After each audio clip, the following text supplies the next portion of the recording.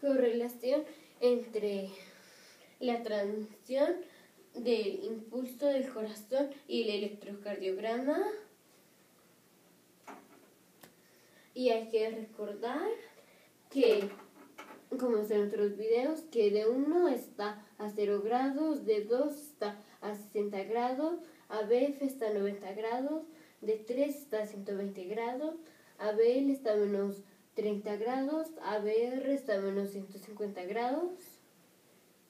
Y de 1 es ortogonal con ABF porque forma 90 grados, ABL es ortogonal con D2 porque forma 90 grados. Y ABR es ortogonal con D3 porque forma 90 grados.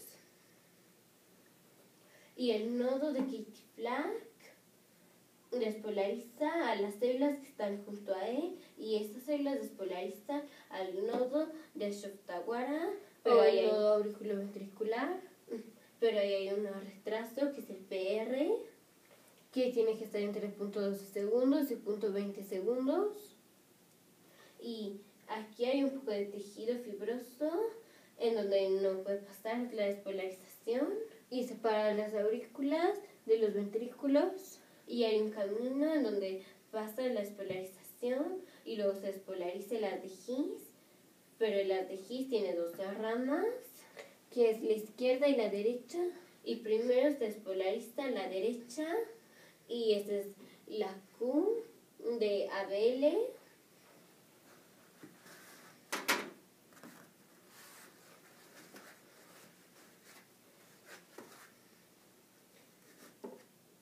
Y las extremidades están alrededor del corazón y las precordiales están transversal y aquí está B1, aquí está B2, aquí está B3, aquí está B4, aquí está B5 y aquí está B6.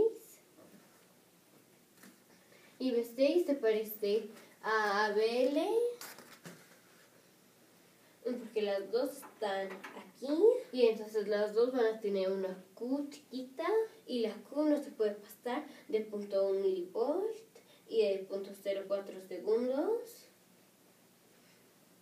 Y luego se despolarizan las fibras de Purkinje.